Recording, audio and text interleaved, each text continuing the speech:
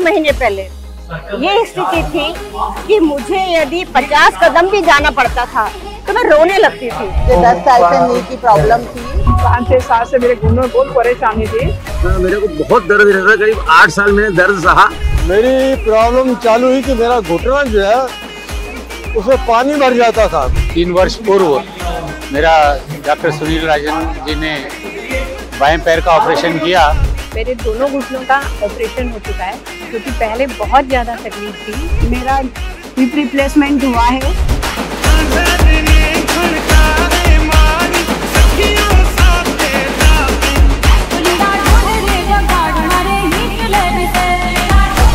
बाद में अभी चार महीने में काफ़ी अच्छा महसूस कर रही हूँ और आज मैं यहाँ गरबा खेलने आई ऑपरेशन होने के बाद ये दो तीन महीने बाद तो मैं बहुत ही अच्छे से चलती रही हूँ।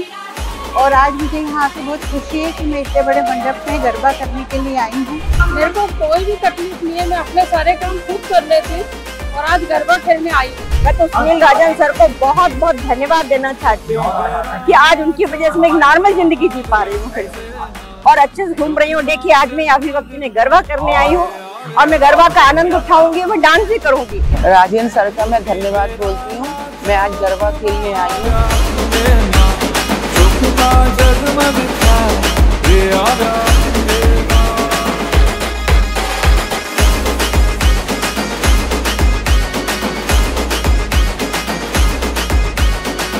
शिखर जी की यात्रा और अयोध्या सब दूर में ट्रेवल करके आराम से घूम कर आ चुकी हूँ। कि मैं अयोध्या जाकर आई और अयोध्या में हम लोग करीब चार किलोमीटर पैदल चले, वापस चार किलोमीटर वापस आए।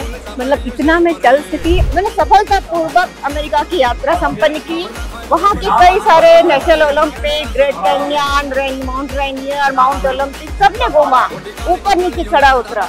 लेकिन मुझे कहीं भी किसी तरह की कोई भी तकलीफ़ नहीं हुई। मतलब मैं सीढ़ियाँ चढ़ती हूँ दिन में दो से तीन बार किसी तीसरी मंजिल तक जाती हूँ और अभी तो मैं खूब ट्रैवल करके आई हूँ बीचेस पे घूम के आई हूँ।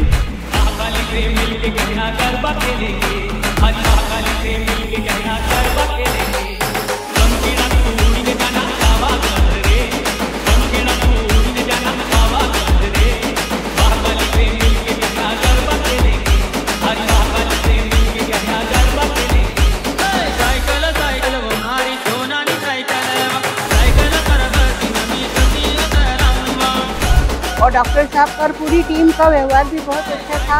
राजन सर की पूरी टीम बहुत अच्छी है। पूरी टीम ने बहुत ख्याल रखा हमारा ऑपरेशन के समय।